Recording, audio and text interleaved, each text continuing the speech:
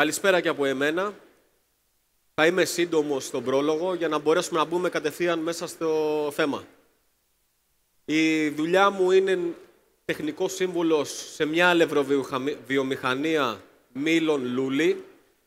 Ε, έχω εξειδικευτεί επάνω στο αλεύρι. Έχω, να το πω εισαγωγικά, γεννηθεί μέσα στο αλεύρι. Οπότε ο κόσμος μου είναι μόνο το αλεύρι. Δεν ξέρω τίποτα άλλο. Και σε αυτό έχω επενδύσει. Σήμερα λοιπόν ε, θα σας παρουσιάσω δύο τύπους ψωμιών. Επέλεξα το βιολογικό ψωμί. Γιατί βιολογικό ψωμί; Όπως βλέπετε η τάση και γενικά ο κόσμος ε, στην εποχή μας καταναλώνει όλο και πιο ανθυγιεινές τροφές. Είτε τροφές που περιέχουν μέσα πολύ ζάχαρη, είτε που περιέχουν πολύ αλάτι, είτε που περιέχουν πάρα πολλά λιπαρά. Αυτό δίνει στον οργανισμό μας τον κορεσμό ότι έχουμε χορτάσει. Είναι το λεγόμενο junk food.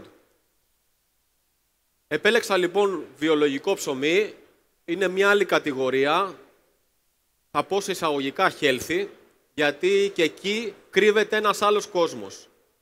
Όταν λέμε λοιπόν βιολογικό ψωμί για τη συγκεκριμένη περίπτωση, δεν είναι απαραίτητα πολύ καλό και θρεπτικό για την υγεία, εξαρτάται από κάποιες, από κάποιες ε, ε, παραμέτρους. Αυτό έχει να κάνει εάν στη συνταγή μας είναι όλα τα συστατικά βιολογικά, η, ο, η μέθοδος παραγωγής και η μέθοδος διαδικασίας είναι σε συνθήκες που δεν επεμβαίνει κάποιο χημικό μέσο, όπως φυτοφάρμακα, και το αποτέλεσμα θα είναι θρεπτικό. Πάμε λοιπόν να δούμε πώς γίνεται το βιολογικό το αλεύρι.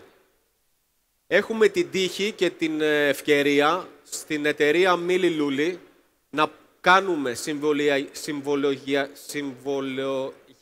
γεωργική, καλά, εντάξει, συμβολιακή γεωργία. Ε, με το αλεύρι, με τα στάρια τα βιολογικά. Τι σημαίνει αυτό; Πηγαίνουμε στο χωράφι, μιλάμε με τον αγρότη, θα το πω πολύ απλά, και υπογράφουμε ένα συμβόλαιο ότι τα στάρια θα είναι βιολογικά, χωρίς φυτοφάρμακα. Αυτά λοιπόν τα στάρια μας παράγουν στην εταιρεία ε, αλεύρων Λούλη το χωριάτικο, το αλεύρι, το οποίο είναι κίτρινο, το αλεύρι αρτοπίας, το τύπου 70% όπως λέμε, και ολικής. Τρεις, τρεις τύπους αλεύρων. Αυτά λοιπόν τα στάρια θεωρούνται βιολογικά. Παίρνουμε λοιπόν το αλεύρι, και ξεκινάμε να ζυμώνουμε. Δεν διαφέρει τίποτα από μια κλασική συνταγή ψωμιού. Δεν διαφέρει πουθενά από μια κλασική διαδικασία αρτοποίησης. Αυτό που διαφέρει είναι όταν βάζουμε όλα τα συστατικά μας στη συνταγή και είναι βιολογικά, διαφέρει θρεπτικά το αποτέλεσμα. Σήμερα λοιπόν εδώ έχω φτιάξει δύο ψωμιά μόνο με προζύμι, το οποίο είναι από βιολογικό αλεύρι, Άρα έχουμε ένα βιολογικό προζύμι, το οποίο είναι φυσικό, χωρίς, κάποιους, χωρίς κάποια τεχνητά μέσα, είτε μαγιά, είτε κάποια αποξηραμένα προζύμια που υπάρχουν στην αγορά. Ένα, προζύμι, ένα ψωμί το οποίο είναι με βρασμένο σιτάρι και ένα ψωμί το οποίο το έχω κάνει με μούρα, λουίζα και αμύγδαλα. Θα τα δοκιμάσετε. Θα μιλήσω στην αρχή για το πρώτο το ψωμί το οποίο έχει βρασμένο σιτάρι. Η διαδικασία, αν θέλετε να σημειώσετε, γιατί θα σας πω και τη συνταγή και τον τρόπο παρασκευής, ε, προφορικά. Για το συγκεκριμένο ψωμί, στη συνταγή έχουμε βάλει 2,5 κιλά αλεύρι βιολογικό, βιολογικό αρτοποιίας, άρα έχουμε ένα αλεύρι λευκό, από μαλακά σιτάρια. 60 γραμμάρια είναι το αλάτι, το οποίο και εκεί έχω επιλέξει βιολογικό. Το καλύτερο αλάτι, αν θέλετε να σας πω και ένα tip, είναι να επιλέγετε γενικά άνθος αλατιού, ε, το οποίο προέρχεται από τη θάλασσα και όχι κάποια επεξεργασμένα αλάτια, τα οποία είναι full νάτριο, χημικά επεξεργασμένα, γιατί έτσι αλλοιώνεται και η γεύση. Άρα έχουμε αλάτι, 60 γραμμάρια στα 2,5 κιλά αλεύρι, 500 γραμμάρια προζύμι φυσικό. Θα το εξηγήσω μετά τι είναι το φυσικό προζύμι, γιατί είναι ένας ολόκληρος κόσμος. και νερό 1.700 γραμμάρια νερό. Τα ζυμώνουμε λοιπόν όλα μαζί, δεν χρειάζεται να βάλουμε ούτε πρώτο το αλάτι, ούτε πρώτο το προζύμι, ούτε πρώτο το νερό, όλα μαζί. Τα ζυμώνουμε λοιπόν για περίπου 10 λεπτά ανάλογα τον τύπο του ζυμωτηρίου. Έχει ένα ζυμωτήριο εκεί, στο συγκεκριμένο ζυμωτήριο η ποσότητα που σας έδωσα είναι περίπου 10 λεπτά. Εάν θέλετε να το σταντάρετε, ανοίγετε μια μεμβράνη, δεν πρέπει να σχίζετε. Είναι η γλουτένη που έχει αναπτυχθεί πλήρως. Το ξεκουράζουμε λοιπόν μία ώρα και κάνουμε ένα δίπλωμα. Το δίπλωμα τι μας δίνει σε μια ζύμη; Οξυγόνο, πάει παντού η θερμοκρασία και αν έχουμε βρεγμένα και τα χέρια μας, ενυδατώνουμε όλη τη ζύμη. Άρα λοιπόν έχουμε τρία πράγματα, είναι σαν να λέμε σαν ένα refresh στη ζύμη μας. Ξεκουράζουμε λοιπόν άλλη μία ώρα. Η ζύμη μας λοιπόν κόβεται. Η συγκεκριμένη είναι 900 γραμμάρια. Κόβεται. Το ξεκουράζουμε 20 λεπτά και το πλάθουμε σε σχήμα φρατζόλα ή καρβέλι, ό,τι θέλετε εσείς. Και το τοποθετούμε στο ψυγείο. Από μία ημέρα, με τη μάσκα δεν σε γνώρισα, από μία ημέρα ως δύο ημέρες. Όσο πιο πολλές ημέρες είναι ένα, μία ζύμη στο ψυγείο, τόσο περισσότερο δουλεύουν, δουλεύουν τα ζάχαρα και διασπάτε, όχι και διασπάτε, διασπάτε το άμυλο. Δηλαδή το προζύμι διασπάει το άμυλο και δουλεύουν πολύ τα ζάχαρα. Όσο πιο πολύ κάτσει λοιπόν στο ψυγείο, τόσο πιο πολύ κόκκινο θα βγει το ψωμί, πιο έντονο το χρώμα. Γιατί είναι σαν να έχουμε βάλει ζάχαρη. Δεν έχουμε βάλει, δουλεύει το αλεύρι. Το αλεύρι δουλεύει συνέχεια. Το προζύμι διασπάει το άμυλο και γίνεται ζάχαρα, σε απλά ζάχαρα. Αυτό που θα έκανε το στομάχι μας, το κάνει το προζύμι. Γι' αυτό και το ψωμί με προζύμι είναι πιο εύπεπτο. Γιατί διασπάει το άμυλο, είναι μια διαδικασία που θα έκανε το στομάχι μας και έχουμε βάλει κάποιον άλλο να το κάνει. Άρα είναι πιο εύπεπτο και πιο εύγεστο. Το πρώτο λοιπόν ψωμί, το οποίο θα το μοιράσουν τώρα τα παιδιά, περιέχει βρασμένος σιτάρις στη συνταγή 370 γραμμάρια. Γιατί έβαλα σιτάρι; Βάζοντας σιτάρι μέσα σε μια συνταγή, το οποίο το βράζουμε, μόλις βράσει, έχουμε ας πούμε 370 γραμμάρια σιτάρι και 700 γραμμάρια νερό. Αυτό βράζει, κρυώνει, θα το πιει όλο το νερό, μην απορρίσετε επειδή είναι νερό πολύ. Και μετά μόλις κρυώσει το βάζουμε συνταγή.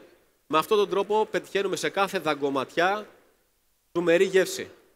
Γενικά το νερό στη ζύμη δίνει γεύση. Θα περάσει τώρα το ψωμί να το δοκιμάσετε. Θα μιλήσουμε λοιπόν για το προζύμι πρωτού πάμε στο επόμενο ψωμί.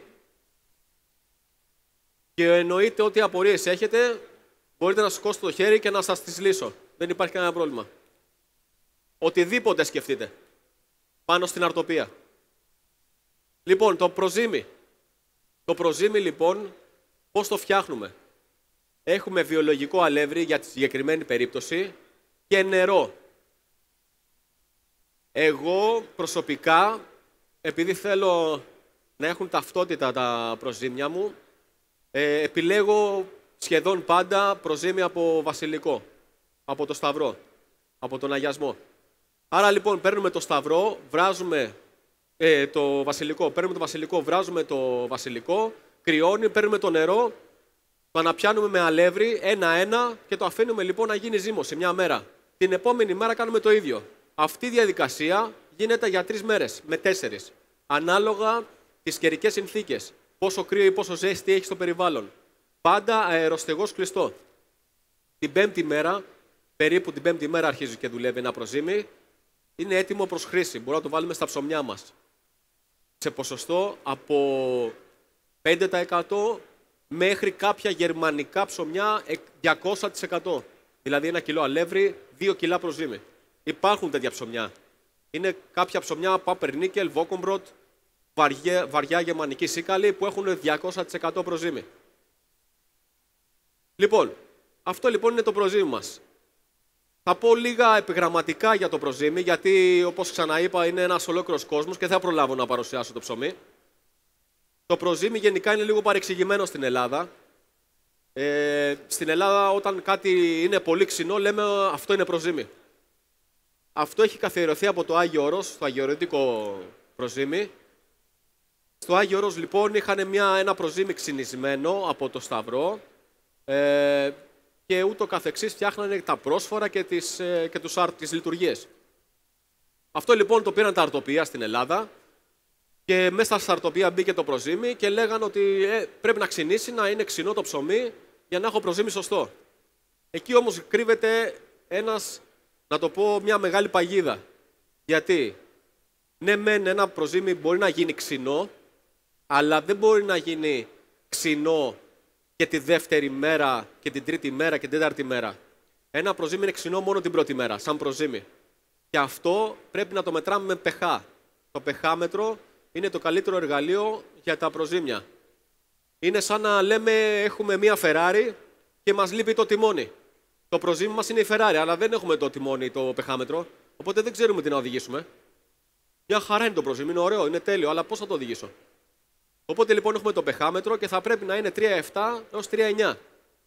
Το μετράμε και το προχωράμε προς χρήση. Αν είναι 3,6, που κάποιος αρτοποιός δεν θα το μετρήσει και θα πει είναι τέλειο το προζύμι, εκεί ξεκινά λοιπόν όλα τα προβλήματα. Όταν είναι λοιπόν κάτω από 3,7 και είναι 3,6 και 3,5 είναι ξύδι. Εκεί λοιπόν αρχίζει και τρώει το αλεύρι. Αντί να κάνεις ζύμωση με το αλεύρι, τρώει το αλεύρι. Είναι σαν να είναι, λέμε κανίβαλος. Τρώει τον εαυτό του. Και δεν μπορούμε να πετύχουμε κανένα ψωμί. Τα ψωμιά μας κολλάνε, τα ψωμιά ραγίζουν, δεν μπορούν να φουσκώσουν και λέμε, μα αφού έχω πολύ δυνατό προζύμι. Άρα λοιπόν ένα, μια παράμετρος είναι το πεχάμετρο. Μία άλλη παράμετρος είναι να έχει άρωμα αλκοόλ. Αλκοόλ, δηλαδή να μυρίζει σαν κρασί ε, και να μην μυρίζει τυρί. Αν μυρίζει τυρί ένα προζύμι είναι για πέταμα. Δεν φτιάχνουμε σαλάτα, φτιάχνουμε ψωμί. Άρα λοιπόν, αλκοόλ που έχει, παρα... που έχει παραχθεί η ζύμος, το διοξείδιο του άνθρακα. Πεχάμετρο και το τελευταίο που παίζει μεγάλο ρόλο σε ένα προζύμι είναι το νερό. Το νερό είναι ίσως από τους μεγαλύτερους παράγοντες ε, σε ένα προζύμι. Γιατί αν έχω ένα νερό το οποίο είναι από το δίκτυο μέσα στο χλώριο, δεν λέω να πάρετε τώρα ένα νερό από την πηγή, δεν μπορεί να γίνει κάτι τέτοιο, αλλά εγώ σας μιλάω σε ένα ιδανικό κόσμο. Το ιδανικό νερό λοιπόν είναι ένα, νερό το οποίο δεν έχει χλώριο. Όχι το απιονισμένο, μην τα μπερδέψουμε. Δεν έχει χλώριο, είναι ένα καθαρό νερό. Αν λοιπόν έχουμε και το νερό μας, το οποίο συνήθως είναι 100% ενυδάτωση μέσα στο αλεύρι, έχουμε ένα πολύ δυνατό προζύμι. Πιστέψτε με ότι αν έχετε κοντά σας ε, κάποια, σε κάποιες περιοχές δικό σας νερό από τον τόπο σας, γιατί υπάρχουν σε πολλά μέρη της Ελλάδας, και ζυμώστε με το νερό και ζυμώστε και από το δίκτυο ή από την Αθήνα, θα δείτε τελείως διαφορετικά ψωμιά. ίδια συνταγή ακριβώς. Ακριβώς ίδια συνταγή. Δυστυχώς το χλώριο παίζει μεγάλο ρόλο στο ψωμί. Το επόμενο λοιπόν το ψωμί που θα πάμε τώρα εδώ, επέλεξα ένα ψωμί το οποίο έχει μαύρα μούρα, λουίζα, το τσάι και αμύγδαλα. Είναι ένα ψωμί εστιατορικό. Δεν είναι πιο πολύ για τους φούρνους, αλλά ίσως είναι, ε, να το πω, είναι μια, ένα, μια διορατική ενέργεια, γιατί η αρτοπία πάει προς αυτά τα ψωμιά. Δεν πάει σε συγκεκριμένα σε αυτό, αλλά πάει σε μία τάση που ένα ψωμί εκτός από το αλεύρι και το νερό θα έχει και πολλά άλλα μέσα. Από φρούτα, από αλαντικά, από τυριά. Γενικά είναι τόσο γρήγοροι ρυθμοί που ειδικά στην Κορέα, στην Ασία να το πω έτσι, στην Ιαπωνία, τα περισσότερα αρτοσκευάσματα σε ένα φούρνο είναι τρία, είναι η μπακέτα, μία σίκαλη και ένα σταρένιο, να το πω έτσι, ένα πολυτελείας. Είναι τρία τα ψωμιά. Όλα τα υπόλοιπα, όλα, όλα, όλα, είναι ψωμιά γεμιστά. Είτε είναι μπακετάκια, είτε είναι σάντουιτς, είτε είναι πρωινά. Άρα λοιπόν, επειδή αυτό το μοντέλο θα ακολουθηθεί, θα πάμε προς τα εκεί. Η συγκεκριμένη συνταγή λοιπόν είναι, αν θέλετε να γράψετε τη συνταγή. Τα 2,5 κιλά λοιπόν αλεύρι, πάλι βιολογικό, έχουμε 750 γραμμάρια μούρα μαύρα, 40 γραμμάρια λουίζα, ε, που είναι σε φακελάκια τη σκόνη, αποξηραμένη. 60 γραμμάρια αλάτι και 1000 με 1100 νερό και 800 γραμμάρια προζύμι από αυτό που είπαμε πριν. Αυτά λοιπόν τα ζυμώνουμε πάρα πολύ καλά. Το ταχυζυμωτήριο όπως βλέπετε εκεί τουλάχιστον 12-13 λεπτά στη γρήγορη ταχύτητα γιατί τα μούρα γενικά βγάζουν συνέχεια νερό και στο τέλος του ζυμώματος στην πρώτη ταχύτητα προσθέτουμε τα αμύγδαλα τα οποία είναι ε, 600 γραμμάρια. Ακολουθούμε την ίδια διαδικασία, όπως με το προηγούμενο το λευκό, δηλαδή το ζυμώνουμε, το ξεκουράζουμε μία ώρα, κάνουμε ένα δίπλωμα, μετά από μία ώρα κόβουμε τη ζύμη μας, την ξεκουράζουμε πάλι 20 με 30 λεπτά, μορφοποίηση και ψυγείο. Όλα αυτά όμως είναι λίγο, να το πω επιγραμματικά, γιατί δεν υπάρχουν χρόνοι σε ένα προζύμι, δεν υπάρχει θερμοκρασία. Εγώ σας τα λέω αυτά τώρα στο περίπου, γιατί ένα προζύμι είναι ζωντανό. Είναι ένα παιδί. Δεν μπορώ να ξέρω ότι το παιδί αυτό θα φάει στις μία η ώρα. Μπορεί να φάει και στις μία και τέταρτο. Μπορεί να φάει στις δύο. Ανάλογα τη συμπεριφορά του ζυμαριού, διαχειρίζομαι εγώ τη ζύμη. Δηλαδή, αν ένα προζύμι εμένα το συγκεκριμένο μου φουσκώσει στη μία ώρα, γιατί είναι πολύ δυνατό και οι συνθήκες είναι πολύ καλές, γύρω στους 26 βαθμούς, θα το προχωρήσω όπως σας είπα. Αν έχει κρύο, θα πρέπει πάλι να το προχωρήσω σύμφωνα με την αντίληψή μου. Μπορεί να πάρει το διπλάσιο χρόνο από αυτό που σας είπα. Μπορεί να πάρει τριπλάσιο. Μπορεί να πάρει το μισό. Αυτό είναι λίγο θέμα ε, αρτο, του αρτοπιού. Να διαχειριστεί το προζήμιο ανάλογα με τις συνθήκες. Οπότε λοιπόν, δεν ξέρω αν το δοκιμάσατε. Πάγατε λοιπόν τη Λουίζα. Γενικά το τσάι, τα βότανα, ταιριάζουν πάρα πολύ με, στο ψωμί θα μπορούσαμε να βράσουμε το τσάι και να βάλουμε το νερό. Είναι μία μέθοδος που μπορούμε να κάνουμε, απλά επειδή παίρνει χρόνο. Ε, όλα τα αρώματα εμφανίζονται στο σημείο βρασμού του τσαγιού, το ξέρετε πολύ καλά, του τσάι, συγγνώμη κιόλας για το... δεν είναι του τσαγιού, του τσάι όλα εμφανίζονται στο βρασμό. Απλά εγώ θέλω να πετύχω μία φορά το βρασμό. Άρα θα το βάλω όπως είναι για να πετύχω να πάει ο βρασμός μες στο ψωμί το ψωμί φτάνει μέχρι 98-99 βαθμούς. Άρα θα μου ψηθεί η Λουίζα. Άρα μία φορά το πέτυχα. Δεν χρειάζεται να το κάνουμε δύο φορές. Δεν είναι ότι είναι λάθος, αλλά δεν είναι και το καλύτερο. Άρα λοιπόν ομό. Θα μπορείτε να βάλετε αντί για Λουίζα ξύσμα λεμόνι. Ούτως ή άλλως η Λουίζα έχει αρώματα λεμονιού. Ή κάποιο λάιμ να βάλετε. Μούρα. Αν δεν θέλετε να βάλετε μούρα στο ψωμί, μπορείτε να βάλετε τα blueberries ή τα κόκκινα μούρα, όχι τα μαύρα. Ανάλογα τι θέλετε. Θα πρέπει όμως να προσέξετε κάθε φορά που βάζετε φρέσκο φρούτο, γιατί τώρα μιλάμε για φρέσκο φρούτο, την υγρασία στη ζύμη. Η συνταγή πάντα αλλάζει. Η ποσόστοση της υγρασίας μέσα σε ένα φρούτο είναι σε όλα διαφορετική. Δεν ξέρω αν υπάρχουν ερωτήσεις. Υπάρχουν κάποιες ερωτήσεις; Όχι. Έτσι, ωραία. Λοιπόν, θα επανέλθουμε, ορίστε. Το, στη Λουίζα, το μαύρο. Το, στο συγκεκριμένο λοιπόν έχουμε βάλει 800 γραμμάρια προζύμι. Τα 2,5 κιλά αλεύρι. Το προηγούμενο βάλαμε 500. Ωραία. Επειδή είναι πολύ όξινο το φρούτο, αν δεν έχετε ένα καλό αλεύρι, η ζύμη, η ζύμη σας δεν θα μπορέσει να γίνει ζύμη και να ενωθεί, να, να αναπτυχθεί γλουτένη, να το πω πιο απλά. Γιατί έχουμε πολύ οξύτητα στη ζύμη, με αποτέλεσμα αν δεν είναι δυνατό το αλεύρι να σκιστεί. Ξέρετε, υπάρχουν και κάποιοι, κάποιοι παράμετροι. δεν μπορούμε να είμαστε και υπερβολικοί. Δηλαδή θέλω να πω ότι βάζοντας πολύ προζύμι κάπου, δεν σημαίνει ότι θα έχω και πολύ ξύνη γεύση. Αυτό είναι που μπερδεύονται οι περισσότεροι. Γιατί λέει, μα έχω βάλει στα 2 κιλά ένα κιλό προζύμι. Μα δεν έχει γεύση. Γιατί δεν έχει γεύση; Έχουν, έχει γίνει τόσο γρήγορη η ορίμανση του ψωμιού και της ζύμης, δεν έχουν προλάβει να αναπτυχθούν τα αρώματα, δεν έχει προλάβει να αναπτυχθεί η γεύση, τρέχει σε πολύ γρήγορους ρυθμούς η ζύμη μας με αποτέλεσμα να είναι έτοιμη για ψήσιμο. Λειτουργεί όπως η μαγιά. Άμα βάλουμε πολύ μαγιά σε μια ζύμη, δεν υπάρχει γεύση στο ψωμί. Έτσι είναι και το προζύμι. Μπαίνοντας πολύ μέσα σε μια συνταγή, τρώει την ίδια τη συνταγή. Λοιπόν, να πούμε τώρα λοιπόν για το αλεύρι, το λευκό, το χωριάτικο και το λυκή στα βιολογικά αλεύρα που υπάρχουν στην εταιρεία. Το βιολογικό αρτοπίας ανήκει στην κατηγορία των μαλακών σταριών. Τι σημαίνει αυτό ότι έχουμε ένα αλεύρι από μαλακά στάρια που είναι το λευκό το αλεύρι. Πολλοί λένε ότι το λευκό αλεύρι δεν κάνει καλό στην υγεία. Ή το ολικής κάνει μόνο καλό στην υγεία.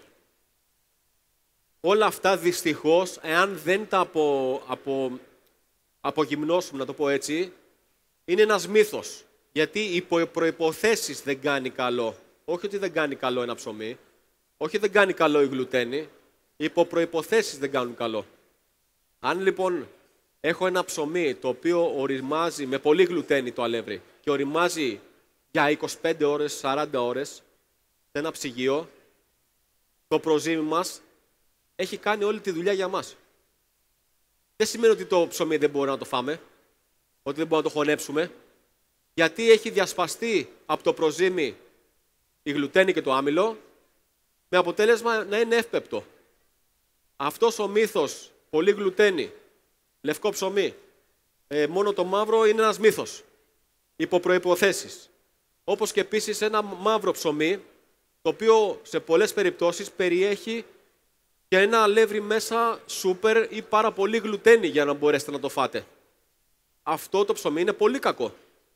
Άσχετα μα νομίζουμε εμείς οι περισσότεροι ότι είναι καλό. Στις περισσότερες περιπτώσεις δεν είναι καθόλου καλό.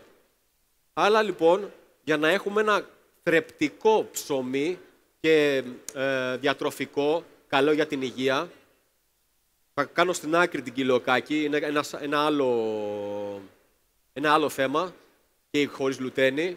Θα πρέπει λοιπόν να ζυμώσουμε ή το ψωμί που θα αγοράσουμε, το αρτοσκεύασμα, να έχει οριμάσει τουλάχιστον 12 ώρες. Μιλάμε τώρα για μεθόδους αργής ορίμανσης. Από το Παγκόσμιο Οργανισμό ε, Υγείας, η μαγιά που μπορεί να καταναλώσει ο άνθρωπος και για να μπορέσει να είναι εφαρμοστή στην αρτοπία είναι από 1,8% και κάτω. Παλιά εδώ στην αρτοπία στην Ελλάδα είχαμε βάλει σε ένα ψωμί 20 γραμμάρια μαγιά. Ακόμα και αυτή η μαγιά είναι δυσκολοχώνευτη για τον άνθρωπο. Οπότε ο Παγκόσμιος Οργανισμός Τροφίμων την κατέβασε στο 1,8. Τώρα, το θέμα του αλατιού είναι για ανθρώπους που έχουν πρόβλημα το αλάτι. Αλλά η μαγιά είναι από 1,8 και κάτω.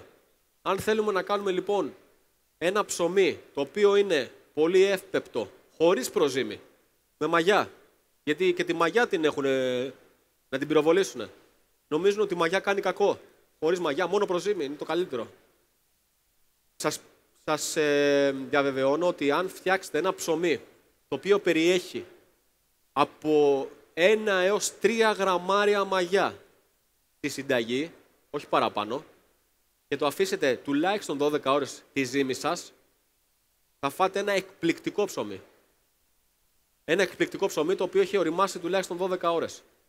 Γιατί, γιατί το, η μαγιά, διασπά, γενικά το ψωμί διασπάει το άμυλο, το οποίο θα το έκανε το, ψω, το στομάχι μας. Άρα λοιπόν είναι πιο εύπεπτο. Και νομίζουμε εμείς ότι τρώμε ένα προζημένο ψωμί. Και δεν είναι καθόλου προζύμι μέσα. Περιέχει βέβαια χημικά πράγματα, αλλά απλά περιέχει πάρα πολύ λίγο μαγιά. Σχεδόν καθόλου. Τώρα, αν έχετε ζυγαριά που ζυγίζει ένα γραμμάριο, είναι και ύποπτο. Λοιπόν, δεν ξέρω αν έχεις να ρωτήσεις κάτι, Γιάννη. Γιατί έχουμε ανάμεσά μας ένα από τους κορυφαίους αρτοποιούς στην Ελλάδα. Είμαστε και φίλοι. Ε, είναι από Βόρεια Ελλάδα. Συζητήσαμε για τα ψωμιά. Δεν ξέρω πόσο χρόνο έχω. Ε, ωραία. Θα κλείσω τώρα. Συζητήσαμε λοιπόν για τα ψωμιά, συζητήσαμε για τα προζύμια. Ε, από τη μεριά μου να ευχηθώ στους νέους καλή σταδιοδρομία. Τίποτα δεν είναι εύκολο. Ε, μέσα από τα λάθη μαθαίνουμε και κάθε λάθος που κάνουμε μας πάει σε αυτό που θέλουμε. Αυτό πρέπει να σκεφτόμαστε. Κάθε λάθος που κάνουμε μας πάει εκεί που θέλουμε. Και όχι να φεύγουμε από το λάθος. Να πηγαίνουμε στο λάθος. Ε, να σας ευχαριστήσω. Να είστε καλά. Σας εύχομαι καλή συνέχεια.